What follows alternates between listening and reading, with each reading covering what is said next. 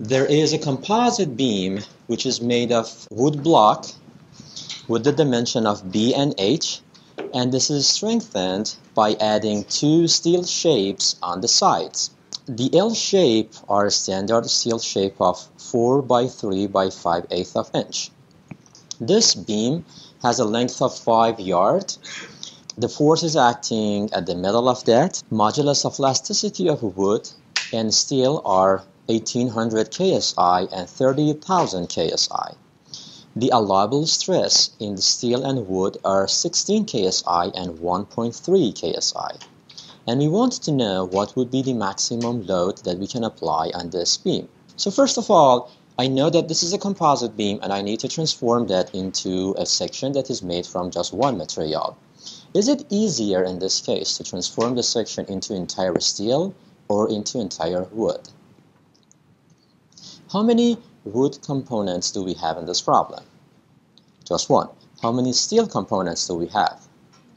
Two, but those two are consisting of four rectangles in total. So if you want to convert steel to wood, you need to convert four rectangles into wood. And that makes the problem more complicated. So it would be easier if we go and convert that into steel. We are going to convert a weaker material to stronger material, so n factor should be smaller than 1 modulus of elasticity of wood as the numerator and steel as the denominator. And that would give us 0.06. I will use that later. Let's keep it here and try to determine the shear and moment diagrams. Um, the reaction force on each side would be half of P. On the left side, we go up by P over 2. It's going to remain constant all the way to the middle point. Then there is a jump by the magnitude of P downward and then that remains constant all the way to the other end. So that would be shear diagram. Moment at the left side is zero. It is going to increase linearly all the way to the middle of the beam and then decrease linearly all the way to the other end. And how much would be the maximum moment? That would be the area under the shear on, on half of the beam. So P over 2 multiplied by L over 2, that would be PL over 4. This is the maximum moment in this problem. Alright, I'm just going to write this down here and write maximum moment in terms of length. I'm going to convert 5 yards into inches. That would be 45 multiplied by P pound inch. That would be the maximum moment that we expect to see in this beam as a function of P. Now we get to the tricky part, how to determine the section properties for the transform section. But what is the shape of the transform section? We are going to replace the wood part with steel. So I'm going to change that B and replace that with N multiplied by B. So this would be the shape of the section after transformation. The width of the section at the middle part has decreased. The new width would be N multiplied by B. Okay? Now I need to determine the section properties for this problem. First, let me write down the values for that transformed wood at the middle part.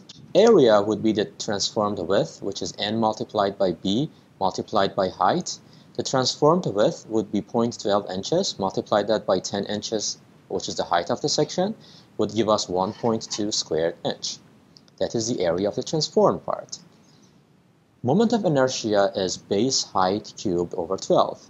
For base, I'm going to use the transformed width of the section, which is 0.12 inch height is 10 and divided by 12 that would give us 10 inch to the fourth. The distance of centroid of that transformed section to top would be half of the height which is shown by red here. So that would be h over 2 or 5 inches. Now we get to the part that is sometimes confusing I need to determine the properties for that L-shaped steel shape the section properties could be read from the table. Uh, first of all, we need to read the area, 3.89. Mm, that's easy. But for moment of inertia, there are two values here, Ix and Iy. Also, we need to know where is the location of the centroid in this shape. I'm going to zoom into this figure. The distance of centroid to the sides is given by x, y, x bar, and y bar, or x and y in this figure. Which one should I use for solving this problem? This is the tricky part and I want you to think about this. So I'm going to pause here for a few seconds. Think discuss, share the ideas. What should I read from this table? Should I read Ix or Iy? Should I use X or Y value for the centroid?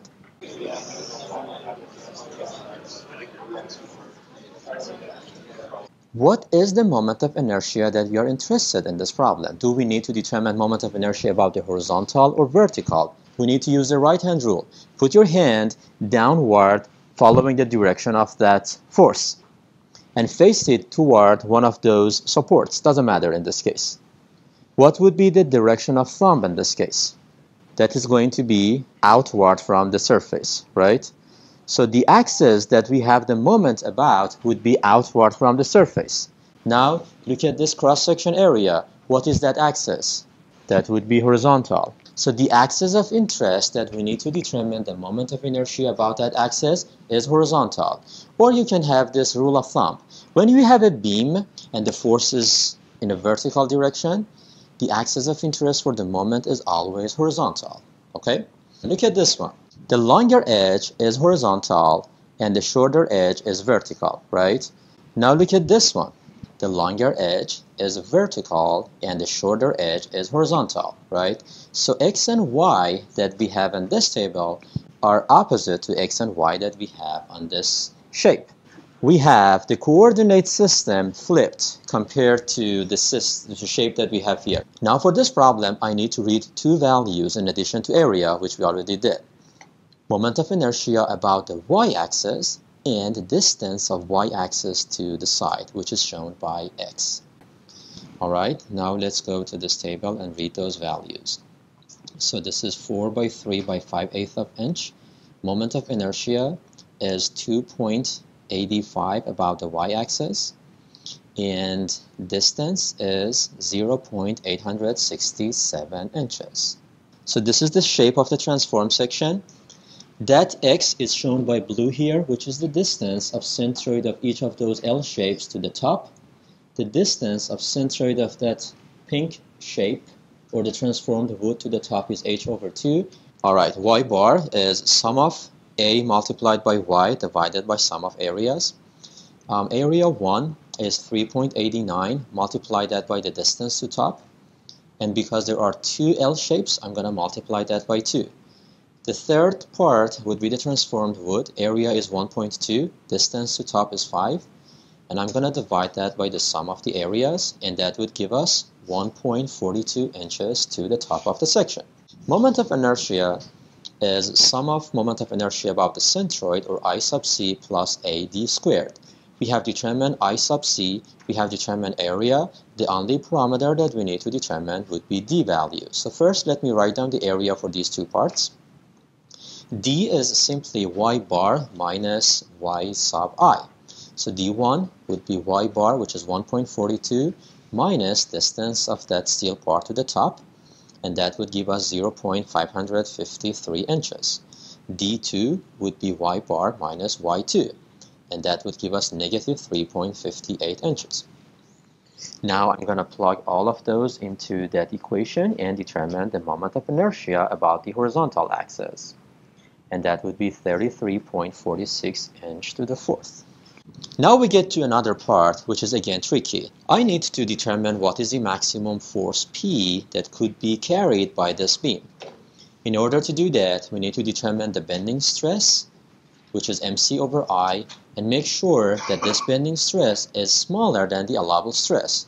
But this is a composite beam. We have two materials and we need to make sure that that stress is going to be limited to the values that are given in steel and wood.